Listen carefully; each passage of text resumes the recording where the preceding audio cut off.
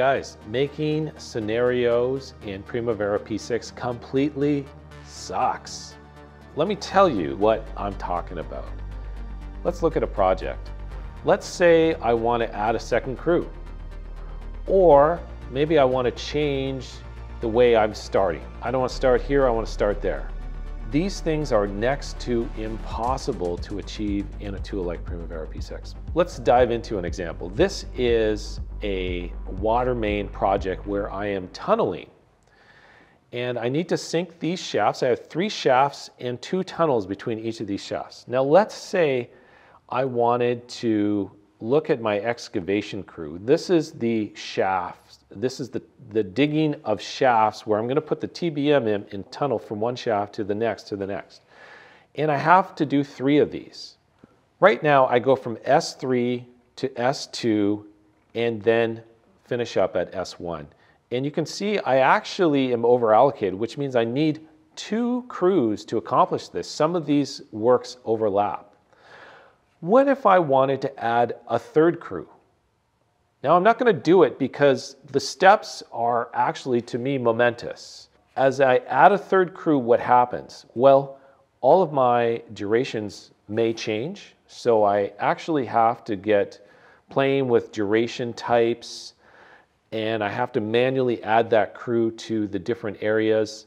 But also what happens here is the logic is going to change. As you can see, because I knew I was limited to crews, only two crews, I had to actually indi indicate where these things are allowed to overlap by using logic. So I'm kind of have some resource logic in there that's preventing me from making any of these changes. And now I have to go and figure out where that logic will change if I want to add a third crew. This is untenable. This is next to impossible. And this is just one simple crew. What if I wanted to double all of my resources? What if I wanted to add a second concrete pump for the work to progress faster? What if I added a second crane instead of just one crane? How would all of this project shift as a result of adding or removing these resources? Well, I don't think we can do it really without a whole crew of people working in P6 to achieve it. But I do want to show you a way we can do it with a tool that is groundbreaking.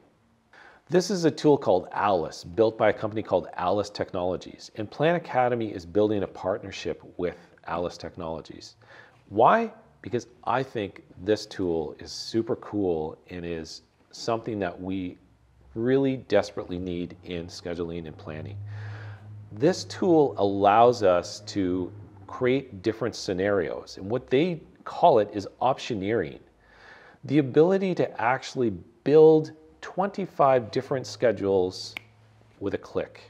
All of them different, including logic, including resourcing, to be able to answer and ask questions about how can this project be built in terms of sequence, in terms of cost, in terms of resources, before we sit down in P6 and program it all in.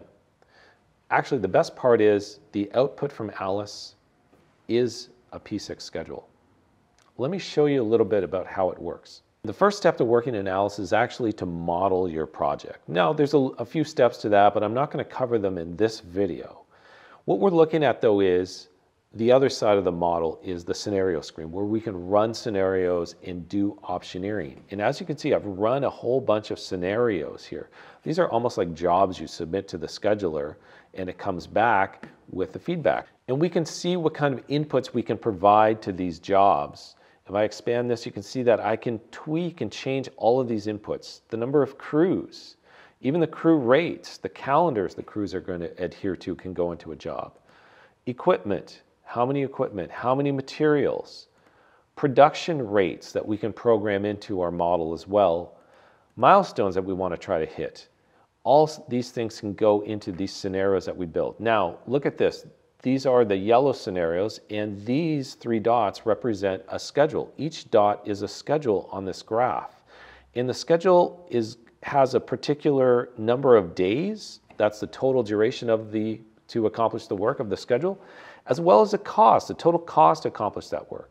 Now let me open a couple up. I've got a couple opened here, but you can actually just click on one and analyze the solution and have a look at this schedule. This is a schedule that Alice built really quickly for us. Now, this schedule, have a look at the tunneling and support. So in this schedule, I just have one TBM, and we launch a TBM here, we TBM, we tunnel here for a good long number of days, and then when we're done, we drop the TBM into this other piece of the tunnel so you can see what that looks like. And that is uh, that gives us these yellow dots. Now I also open these blue dots, and if we have a look at that schedule, you can see it's shorter and that my TBM work is actually overlapping because I had infused that one with two TBMs. So we get two very different schedules that are produced, and it's very quick to produce them here in Alice. This is the kind of optioneering that we can do.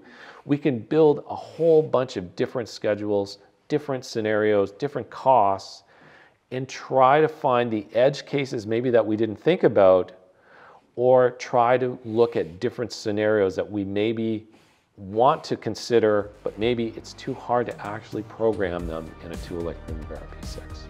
So I'm really excited about Alice. As I mentioned, Plan Academy is working on partnering with them and soon we'll have a course available on how to use some of this stuff so that you can learn it because I think it's going to really change the way we do scheduling. So if you want more information about this, I'm going to leave a link below where you can subscribe to Plan Academy's newsletter. We'll be releasing information very soon about the course that is coming and how to get more involved with this cool technology and Plan Academy's work with Alice. Okay, so check it out. Make sure you click the link below sign up for our newsletter, and I'll see you again in another video.